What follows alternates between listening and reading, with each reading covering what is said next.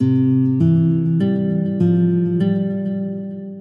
nouveau livre, c'est le tome 10 euh, des notes.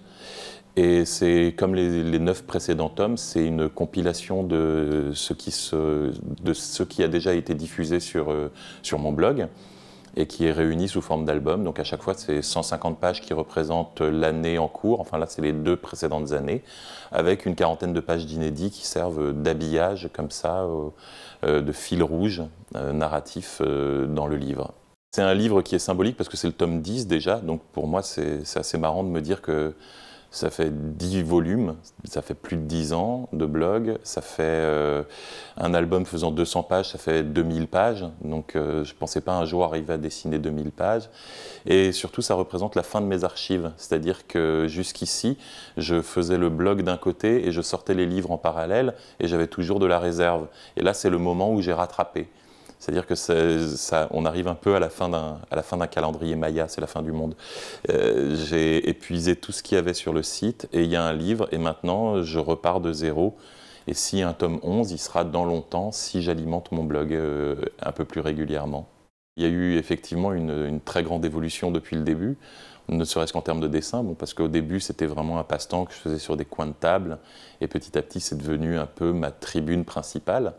Donc le, dessin a énormément changé, s'est adapté, euh, adapté au fur, et à mesure des années. Ça a toujours été un laboratoire.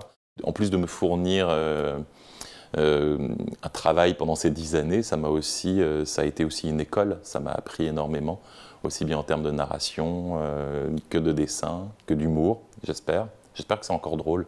Après dix ans, c'est toujours difficile. On ne sait pas si, on ne répète pas les mêmes blagues. Mais j'espère que non.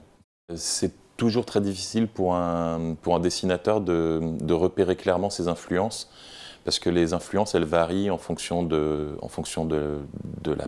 l'âge, en fonction de l'humeur du moment, en fonction de ce qu'on est en train de faire. C'est-à-dire que ce pas les mêmes personnes qui m'influencent quand je fais de la science-fiction que quand je fais de l'humour. Moi, j'ai grandi dans l'école franco-belge avec des gens comme, euh, Hergé, Franquin, Peyo, les classiques. Petit à petit, j'ai découvert qu'il y avait d'autres choses dans le, monde de la BD. J'ai découvert euh, la BD d'humour avec Fluide Glacial et l'époque Gottlieb, Meister, Edika, Gossens. Gossens, c'est un incontournable. Qui Et, euh, et petit à petit, j'ai découvert euh, la BD américaine. J'ai découvert Calvin et Hobbes assez tôt, mais après, je me suis un peu plongé dans l'univers des, nouveaux comics. Bien plus tard, hein, mais avec des choses comme Walking Dead, Saga. Enfin, Saga, c'est très très récent, mais ça m'influence déjà.